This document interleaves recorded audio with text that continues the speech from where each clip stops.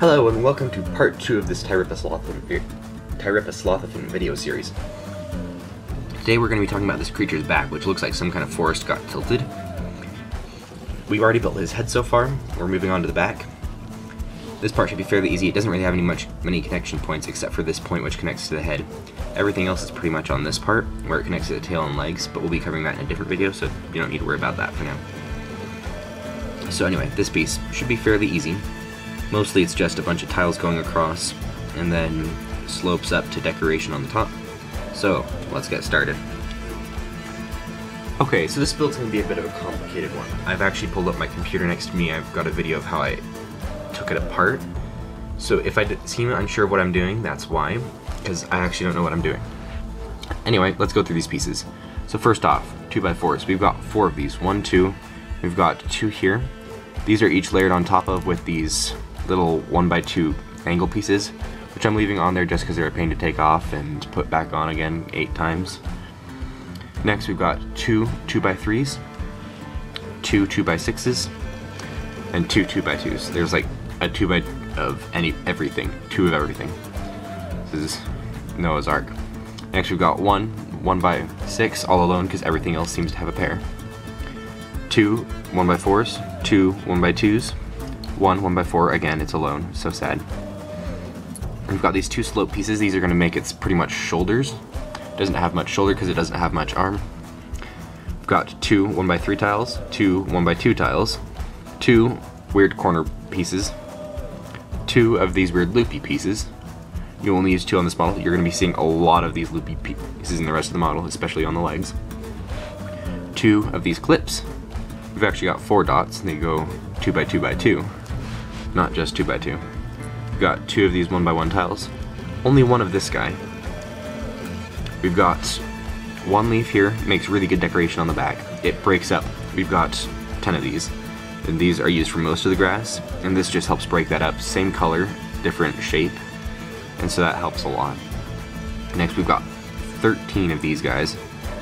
It's a lot of these, you're going to be using ton of these in this model. Not a literal ton, just a large number of them.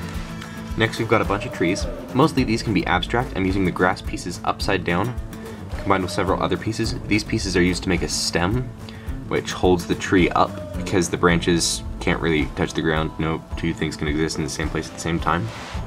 Next we've got a 2 by three. I forgot to mention that. Then we've got a bunch of these clip pieces. It's a bar piece like we used on the head video, a one by one clip, and a one by one dot. These make the trunks of each of these trees. And then each of the trees can be customized, like these ones with the brown dot on the bottom have an extra long trunk. And some of these trees are shorter like this one which only has two leaves and then three dots. Whereas this one has three leaves and then the equivalent of four dots, one dot and a brick. And this one's got four leaves and three dots. So yes, all the trees will should be different. If they aren't different, this isn't gonna look great.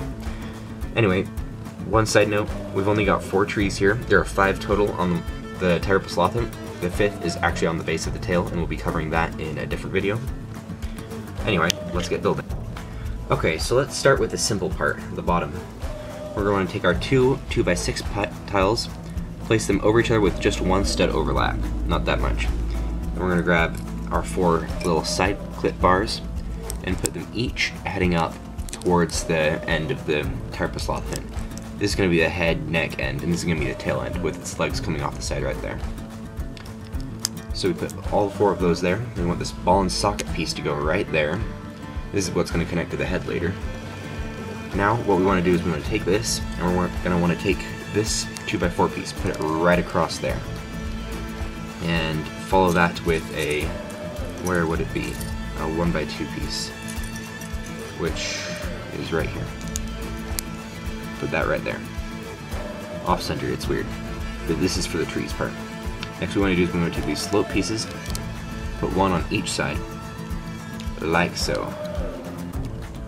Next what we're going to do is we're going to take these pieces, the ones I told you about, 2 by 4 with all of these slope pieces on it, put one right there, and one right on the opposite side. And now I'm going to end quit the video and okay so here we go this is what we've got so far now what we want to do is we want to take these four pieces, and we want to do this twice. We want to take this elbow piece, this hook piece, this one by three, and this one by two with the little tongue off of it. we're basically going to make it into something like this. We need to have mirror images of each other. So let's start by taking the one by three piece and our elbow piece. Put the elbow so it comes off to the side and faces back. Then let's take our little hooky piece, put our tongue off to the opposite side. We're going to do this for both sides, and this one needs to have a tile on it. Now what we're going to do is we're going to take and plug those in right back here. This one should meet with this piece, and this tile should not meet with anything because it's a tile. Doesn't exactly meet with stuff. Next what we want to do is we want to take a 1 by 2 piece, put it right here. A little 1 by 1 dot. Put it right beneath that on one side. Now we want to take our 2 by 3 place it right there. So we've got a 1 by 1 gap there. And then we want to take our two next 2 by 3 put it right there. So this is what we've got so far. I'm going to start working on this area down here. Because yes, we have stuff that goes there. Let's start by taking a 1x4 tile and a 1x2 tile. Put them, the 1x2 right on the bottom in the middle of the 1x4. Now let's take each of our little 1x2 slopey pieces and put them heading off the back of this. Now let's put this here. This is going to be part of his neck. You don't really see it very often. It's kind of concealed by a lot of other stuff, but it does need to be this shape in order for it to look right. Next what we want to do is we want to take this 2x4 tile and two 1x4s for it. Put them each heading back. We're going to put that right there. So you should have tile, then two tiles coming off of it, then another tile, and two tiles coming off of it. Second one being twice as long in every way than the first. We're going to grab our little clips, put one right here, one right there. Like so. This slope we've got here is going to be used later. We're going to attach this thing in and it's pretty much just going to sit in that slope. But we're not going to use that now. We'll be doing that, as I said, later. So, I'm going to cut the video right here and we'll... Okay, so now what we're going to do is we're going to try to finish off the gray pieces of this. So grab all your gray pieces except for the poles that are holding on your trunks. Those go in more random positions and we can't exactly place them yet. So I've got all my pieces right here. We're going to start with these two one by one squares. Put one right here in that gap put one on the end of this, like that. We're going to take this one by two piece, put it right there, in between and on top of what we just did. So let's put that right there, this little dot, and we're to take this 1x6 piece, it's just to go all the way up there, it should stretch up to that hole. We're to take dot, put one here, and put one there. Okay, now we can start the process of making this thing green. Let's start by taking two of these. You've got this side with this dot on it. Let's start by covering that with one green. Like so. And we've got this side. Start by covering that with its own green. Like so. Okay, now let's start putting some vegetation on this. This is going to be the really complicated part, so yeah, bear with me. So take a one by two tile. Mostly what we're going to be doing right now is working with these one by two tiles and so put one right there where it's one set away. We're gonna put another one directly beneath it. Let's see if I can grab this right. Like that. Put one on the top, centered between them, like that. Just a little lump there. Next what we've got is two tiles. We want to put these sideways right here and right here. A little fuzz on my finger. Next we're going to do is we're going to grab this 2x3 tile. We're going to put it right there as um, support piece real quick. Next, what we want to do is we want to grab each of our tree trunk pieces.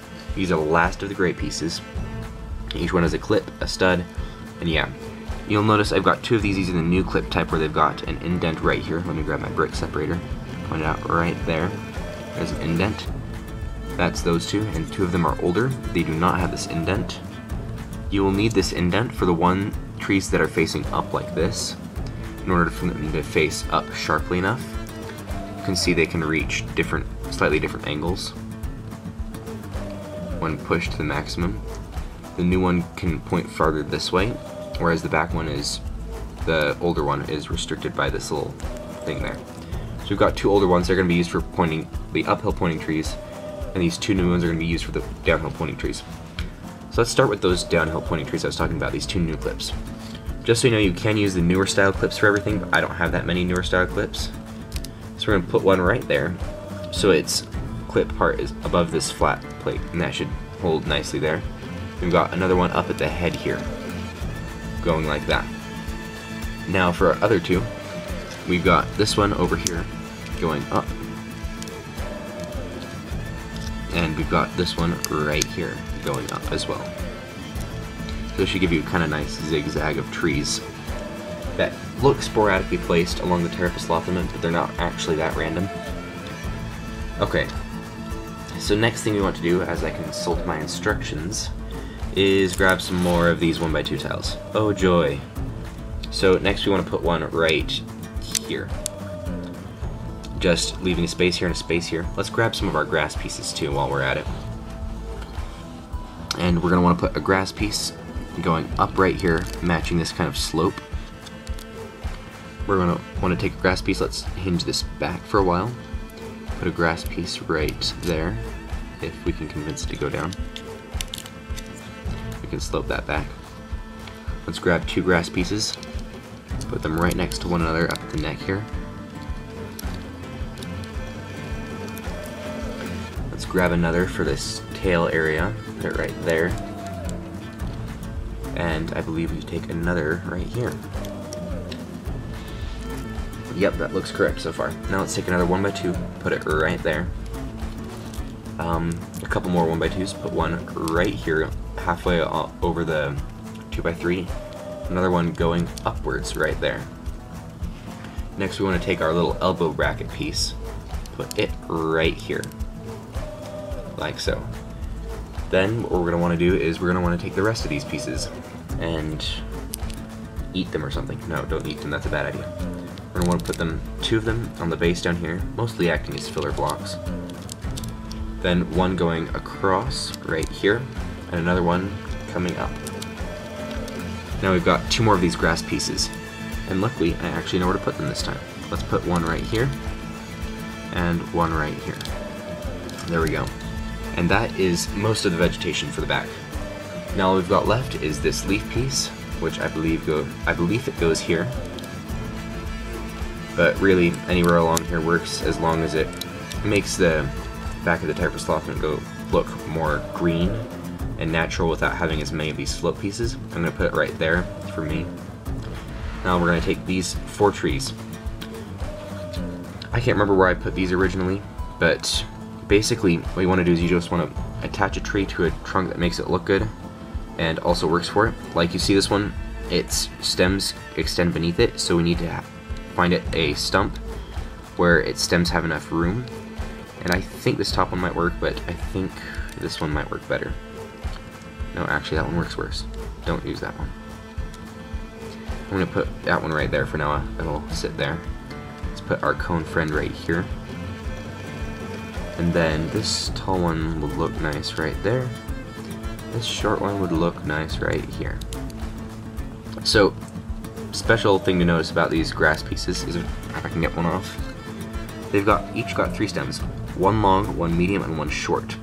So in the Pteropus you most often want to have the long one going back until you reach the top leaves, because when the long one goes back, it will meet better with this downhill slope. So then what we need to do is we need to angle all these trees to be in the same position, otherwise the forest will look really weird. But like this, it looks right. Now the last and most satisfying step is grab our headpiece. We're just going to go clip. Now we've got most of Tyripposlothephant. Actually, not most of it. There's quite a few pieces left. Hello everybody, thank you for watching this video. This is not the end. That's not one full Lothifant. That's like less than half of a Lothifant. Though I will say, this back is the hardest part. We just gotten over the hump. Now we're on to the second hardest part. This piece this is going to be its like sides. It connects to the legs and the tail. It's got a bunch of really weird things on it. Also, this piece technically connects to it, but we're not going to put it on until it's combined here. Anyway, so I will see you in the next video for the construction of this thing.